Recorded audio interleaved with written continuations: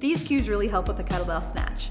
First, it's a lot like the swing, only instead of generating the power out, you're gonna generate the power up. Picture a wall right in front of you. You've got to float using the power of your hips. You've got to float that bell all the way to above your head and then finish the movement.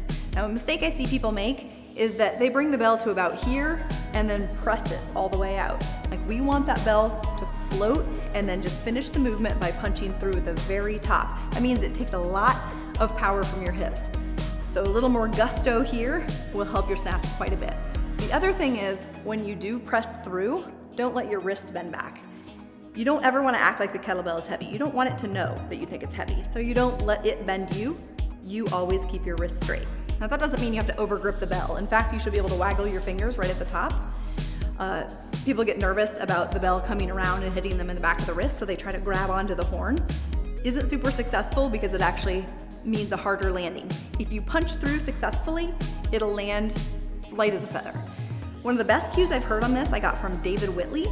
Uh, he says, so once you've generated enough power so that the, the bell is floated to here, you're going to become the eager kid in class, the one that was kind of annoying and always knew the answers.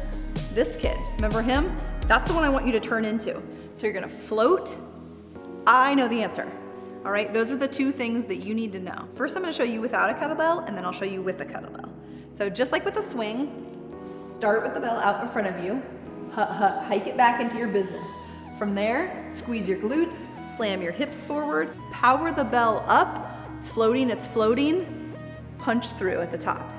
Got it? From here, you're gonna, just like you sh shoot a basket, pop it off your wrist, drag it down the front of your body, back into the swing position, hips go back. From there, you're gonna reverse the movement immediately, up, tilt, down. So now I'll show you with the kettlebell.